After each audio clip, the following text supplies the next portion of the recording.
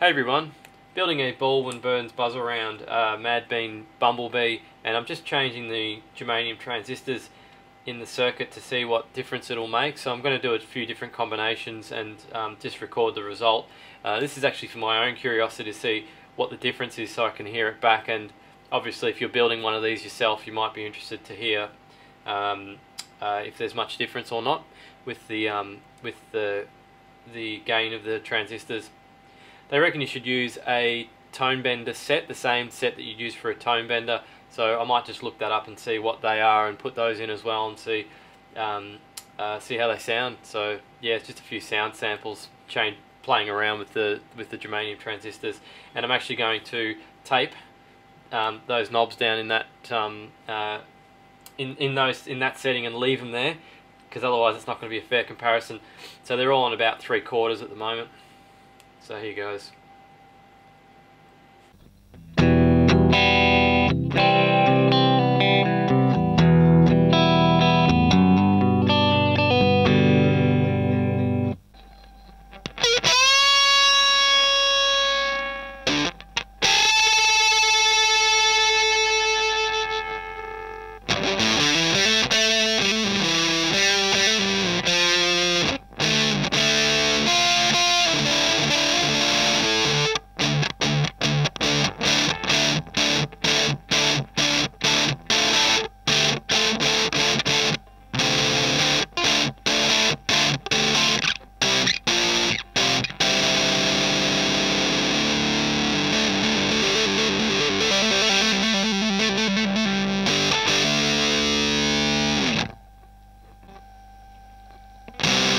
here goes.